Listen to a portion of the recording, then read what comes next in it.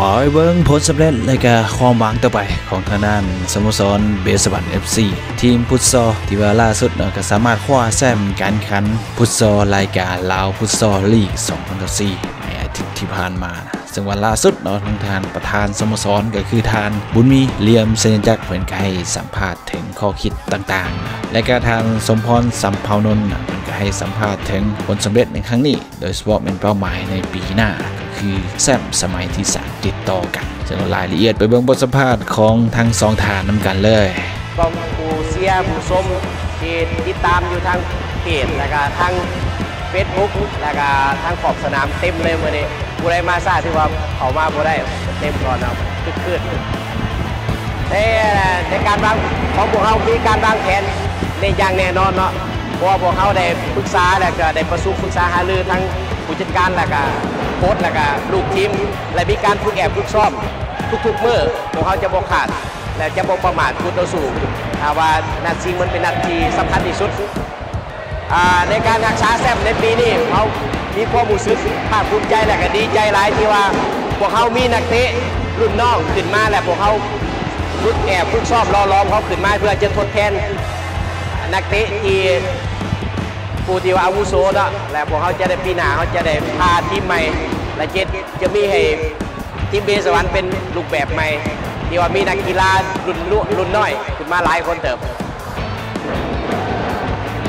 เจ้าเจ้าขอบใจเป้าสบายดีเนาะเกมโดยรวมที่ว่าพวกเขาเได้ตามเป้าเนาะล้วที่ว่าไปแก้ไขจุดอ่อนมาที่ว่าสิ่งที่พวกเขาผิดพลาด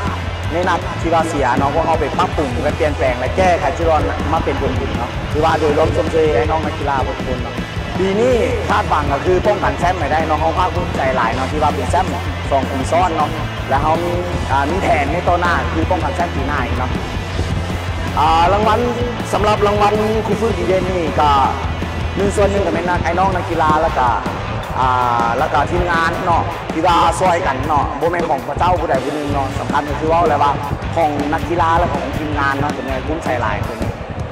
หนึ่งประสบการณ์เขาได้ก็คือหนึ่งสิ่งที่บทผิดพลาดเนาะแล้วเขาจะกลับไปปรับปรุงเปลี่ยนแปลงเพื่อปีหน้าให้ได้หลาย และสิ่งที่เอา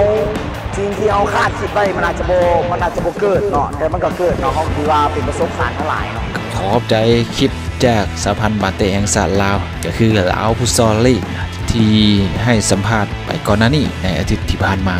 สำหรับฟุตซอลลีก2014เบสวัน FC ก็สร้างผลงานอย่างโดดเด่น ในรอบทมิตหนึ่งลงสนามเป็น11 นัด ชนะ 10 เสีย 1 นัด ก็คือเสียทางด้าน STT ก่อนเดียวจะผ่านเขารอบ 4 ทีมสุดท้าย เอาชนะทางด้าน CIT ไปเข้าซิงซานาเลตกับทางด้าน STT เนี่ยเป็นการล่างตา ปรากฏว่าเป็นทางด้านเบสบัน FC สามารถล่างตาได้สำเร็จเอาชนะไป 10 ประตูต่อ 3 คว้าแชมป์กีฬาฟุตซอลรายการลาวฟุตซอลลีก2014ไปครอง และก็เป็นแชมป์สมัยที่ 2 ติดต่อกัน ต่อจากปี 2013-2014นะสำหรับบทสรุปของการแข่งขันกีฬาฟุตซอลรายการลาวฟุตซอลลีก2014มีดังนี้นะแซมก็เป็นท่างเบสวันเอฟซีนะครับ ขันหนึ่งหน่วย เหรียญชนะเลิศและก็เงินรางวัล 50 ล้านกีบ ที่ 2 เป็น ST นะครับ เงินรางวัล 25 ล้านกีบ ที่ 3 CIT นะครับ เงินรางวัล 10 ล้านกีบส่วนว่ารางวัลพิเศษอื่นๆ จะเป็นทางด้านเบสบันกวาดไป3รางวัลกันเลยนะ ประกอบมีผู้สาวตัวดีเด่นบุญเพ่งขาวภูมินะจากเบสบัน FC ครูฝึกเล่นทานสมพรสัมพนนท์จากสมสรเบสวันเอฟซีนักเตะดีเด่นคำผาพิพักขวงจากสมสรเบสวันเอฟซีส่วนว่ารางวัลดาวยิงที่สุด เป็นทางด้านจันสมรพรมลีวงจากสมสรเอสทีทียิงไป25ประตู